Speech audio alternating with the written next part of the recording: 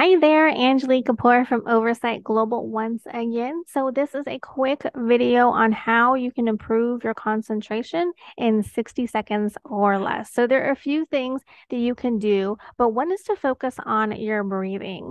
Another is to focus on a specific object or task in front of you. You can also try doing a mini meditation as well to calm your mind and help you focus. Now by following on these tips, following these tips, you'll be able to get more done in in less time. So I hope you find that helpful. Please sure to um, be sure to like, comment, and share, as well as subscribe below if you haven't already. And I'll see you in the next video.